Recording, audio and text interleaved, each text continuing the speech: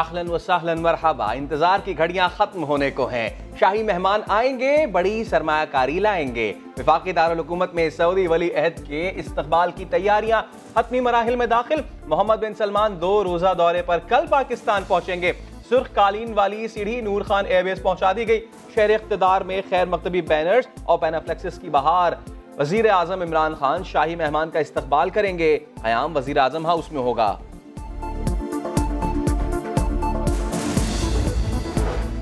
اٹھارہ فیبروری کو اسلام آباد میں عام تعطیل کا اعلان۔ اسکول، کالجز سمیت سرکاری ادارے بند رہیں گے۔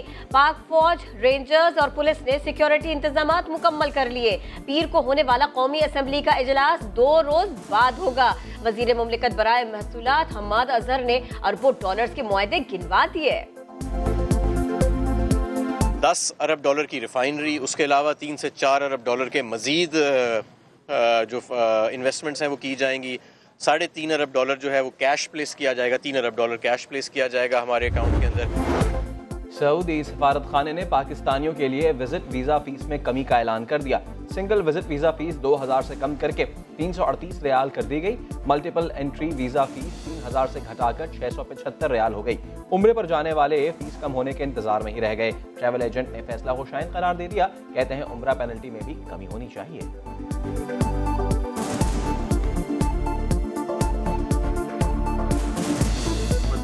سلمان بن عبدالعزیز صاحب ان سے پرائم منسٹر صاحب ایک ریکویسٹ کر لے کہ یہ جو عمرہ کے اوپر جو لوگ جاتے ہیں صرف عبادت کرنے جاتے ہیں کوئی کاروبار کرنے نہیں جاتے ہیں تو ان کو وہ فیس ویو کر دینی چاہیے اپوزیشن میں سے سعودی ولی عہد کے عشائیے میں کس کو بلائیں مرکزی رہنماؤں پر بدعنوانی کے مقدمات چل رہے ہیں۔ فواد چودھری کا ٹویٹ، لکھا، جو جیل سے باہر ہیں، وہ اس قد کے نہیں کہ انہیں بلایا جائے۔ بلانا نہ بلانا برابر ہے۔ وفاقی حکومت نے صنعتکاروں کے وفد کو دعوت بھیج دی۔ ایف پی سی سی آئی کے چھ نمائندے ملاقات کا حصہ ہوں گے۔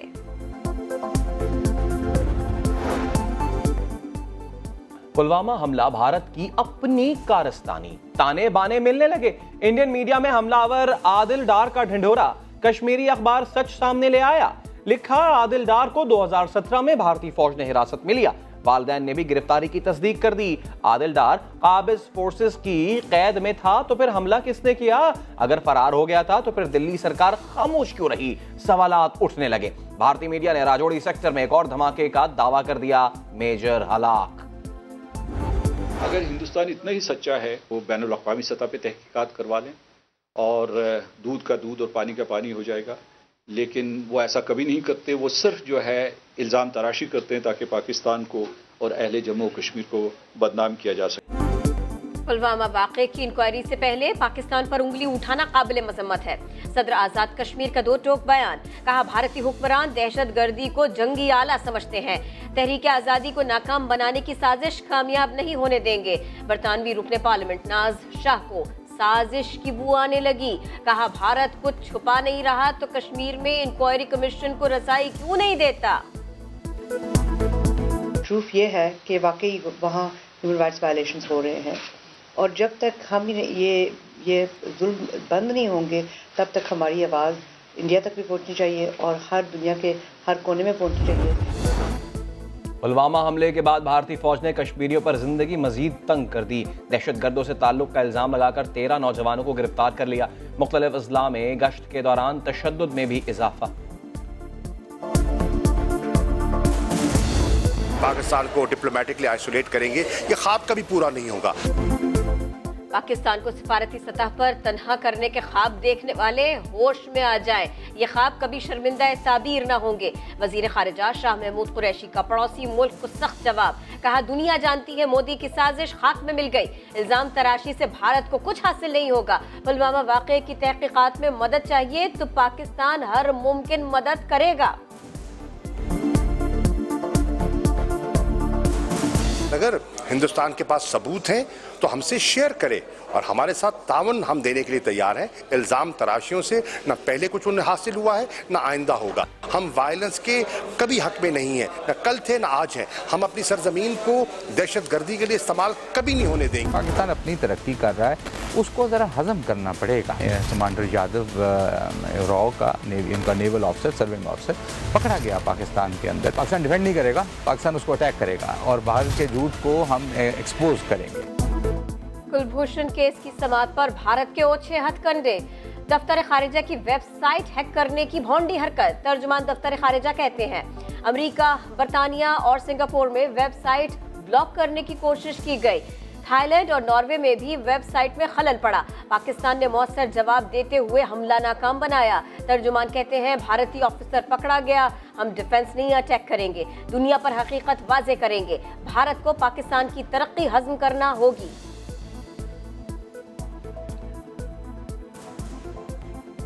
کوٹ لکھپت جیل سے آئے نواز شریف کا جنہ اسپتال میں علاج جاری۔ میڈیکل بورڈ نے دل کے مختلف ٹیسٹ کر لیے میاں صاحب کی کمر کا درد بھی ٹھیک ہو گیا۔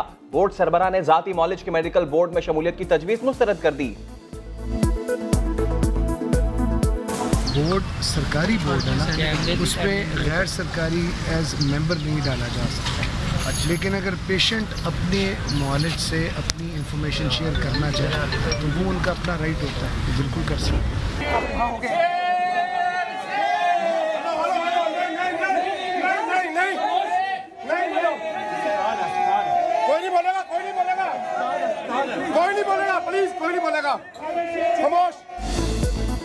مریم نواز اور شہباز شریف کی جنہ اسپتال میں نواز شریف سے ملاقات۔ شہباز شریف نے نعرے لگاتے کارکنوں کو خاموش کرایا۔ کہا، یہ جلسہ گاہ نہیں اسپتال ہے۔ مریم نواز بولی، میڈیکل بورڈ نے نواز شریف کو کارڈک اسپتال لے جانے کی سفارش کی تھی۔ میاں صاحب کو پھر بھی جنہ اسپتال منتقل کیا گیا۔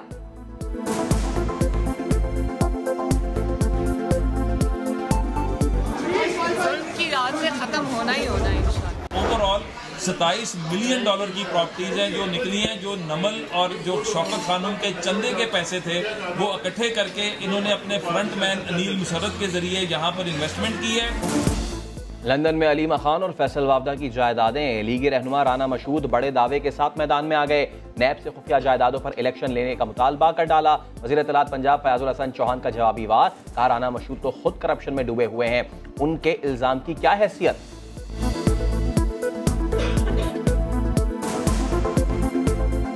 جیسے بندے کا لانا مشہور جیسے بندے کا، اس بیڈ کریکٹر کا۔ جس گھر میں جیو آر میں میں رہ رہا ہوں، اس کے ملازمین بتاتے ہیں، سارا دن کروڑوں روپے کی لین دین لفافے آتے تھے، لوگ دیکھے جا رہے ہیں۔ کرپشن کا ماحول گرم تھا، دسوں انگلیاں گھی میں تھی، سر کڑائی میں تھا۔ لاہور کی احتساب عدالت نے لیگی رہنما خواجہ سعد رفیق اور سلمان رفیق کے جوڈیشل ریمانڈ میں چار مارچ تک کی توسیع کر دی۔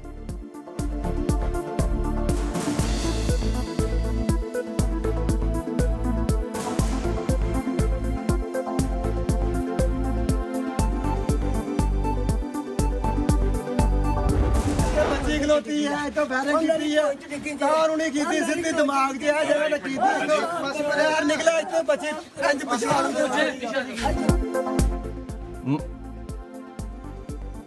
مناوا میں شادی کی تقریب میں ہوائی فائرنگ چھت پر کھڑی آٹھ سالہ بچی کی جان گئی واقع کا مقدمہ دولہے اور دوست کے خلاف درج۔ اہل خانہ کہتے ہیں بچی گلی سے گزرتی بارات دیکھنے چھت پر گئی تھی۔ وزیر اعلیٰ عثمان بزدار نے نوٹس لے لیا سی سی پی او سے رپورٹ طلب۔